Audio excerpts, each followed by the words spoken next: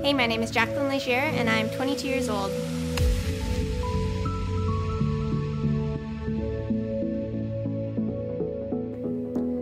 This will be my third year competing in Red Bull Crashed Ice, bringing home a third place in Niagara Falls last year and fifth in Quebec City. Over the last year, I've diversified my training. Check out what I've been up to.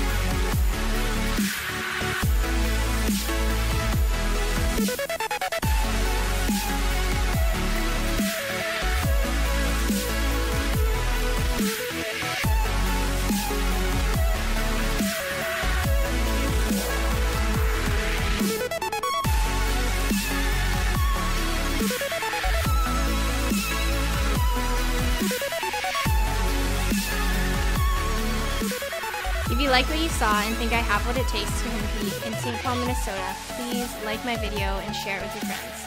Thanks, guys.